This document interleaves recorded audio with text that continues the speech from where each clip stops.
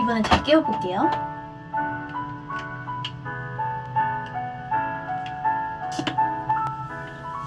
할 거야?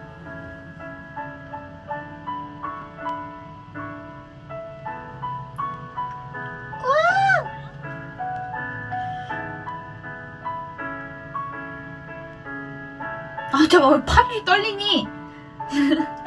이걸 두 손으로 해야지.